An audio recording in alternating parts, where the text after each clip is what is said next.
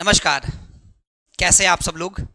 उम्मीद करता हूँ कि आप सब स्वस्थ होंगे, व्यस्त होंगे, और जहाँ भी होंगे, जैसे भी होंगे, आपका जो लक्ष्य है, उसको प्राप्त करने के लिए नित्य प्रतिदिन प्रयास कर रहे होंगे, और उस प्रयास में आप इस स्तर तक खुद को तैयार कर लेंगे कि आज नहीं तो कल आपको सफलता मिलेगी मिलेगी। मैं, डॉक्टर जितेंद्र पांडे, आप सबका स्वागत करता हूँ।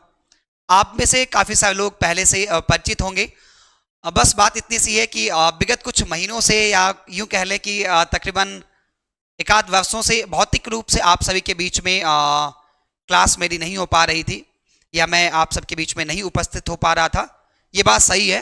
हालाँकि अभी भी ऐसा संभव नहीं है लेकिन आप ये जानते हैं कि स्वभाव रहा है कि जहाँ भी रहें जैसे भी रहें जो लोग हमसे जुड़े हैं उनके लिए कुछ ना कुछ करने का प्रयास और कुछ ना कुछ करने का जुनून हमेशा से रहा है कि चाहे किसी भी माध्यम से या किसी ना किसी प्रकार से आपको मार्गदर्शन ज़रूर उपलब्ध कराने के लिए प्रयासरत रहा हूँ।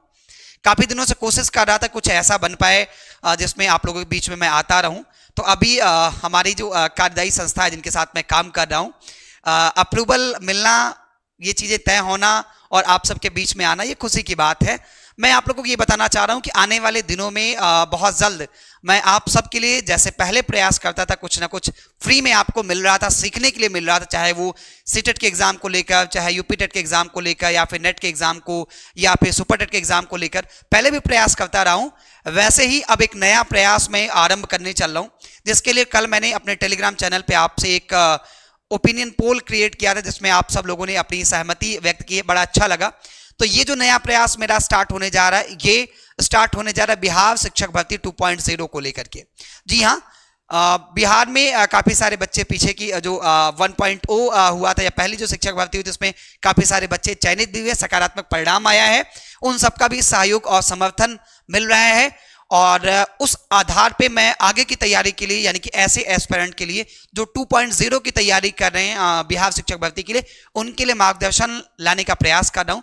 बहुत जल्दी आपको वास्तविक धरातल पर दिखाई भी पड़ेगा फली भी, भी होगा। इसमें काफ़ी सारे लोगों का योगदान है प्रत्यक्ष और अप्रत्यक्ष रूप से।